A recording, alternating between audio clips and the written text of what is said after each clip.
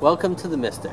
The Mystic River watershed starts in Reading, draining through the Aberjona River, the Mystic Lakes, and down the Mystic River into Boston Harbor. It includes 44 lakes and ponds, 76 square miles, and 22 communities.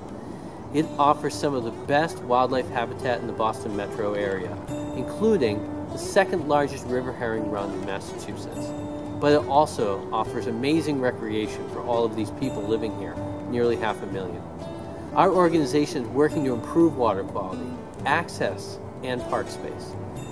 And besides that, all of the restoration work we're doing, including invasive removal. We couldn't do this work without you, and I'm just here to say thank you for being involved and being a champion of the river. We'd like to share a little bit more about the work we have underway. Here are some highlights. This is our final water chestnut removal event of the year. Today we're working with Biogen IDEC to remove water chestnut, an invasive plant, from the Arlington Reservoir. We've worked with more than 830 volunteers to remove more than 5,500 baskets of water chestnut. This year from the Mystic River in Medford and Somerville, as well as the Arlington Reservoir. Now, this is essential work. We have a mechanical harvester that can reach the deeper areas, but the hand pulling efforts are necessary in the shallow areas closer to shore. Here I took uh, this uh, Care Deeply Day very seriously, and it was really a pleasure for me to be among so many colleagues. I got to know while we were cleaning and taking all those plants on the water. I got to know many people. You realize when you do it how needed it is, and I'm very delighted, and I really had a lot of fun, and I, it's very rewarding, and I feel great.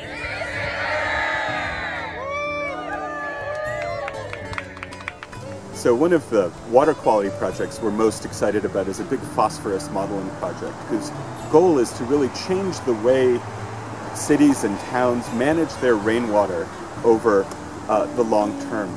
Phosphorus is a nutrient and plants love it, but the irony is that it can degrade aquatic ecosystems. So there can be invasions of invasive plants, there can be too much algae or toxic cyanobacteria blooms. So we are engaged in two or three years of sampling and in collaboration with USGS, uh, EPA, and Department of Environmental Protection. We go out in canoes, we sample from bridges, and we use these kind of cool auto samplers, which are programmable pumps that allow us to get very high quality estimates of phosphorus loads.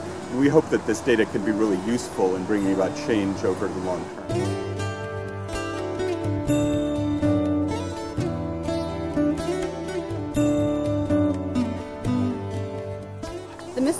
Mystic Initiative is the Mystic River Watershed Association's newest program. The goal of this program is to restore, revitalize, and connect the parklands along the Mystic River and the tributaries. We're here today with an amazing group of volunteers that are helping us to kick off the long-term revitalization plan for McDonald Park, which is the largest open space in the Mystic River Reservation, and to see this as a park that's going to be a world-class riverfront park these are just some of the programs that we're employing to create a vibrant, healthy, and accessible environment for these Mystic River communities. And we couldn't do it without you. Will you become a champion for the Mystic River?